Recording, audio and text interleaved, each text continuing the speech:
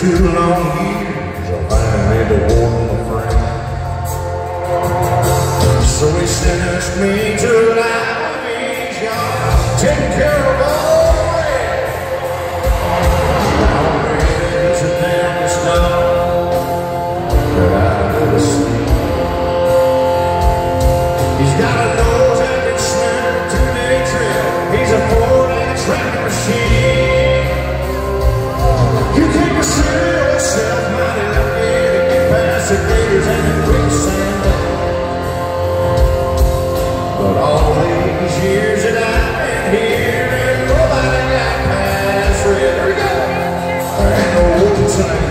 some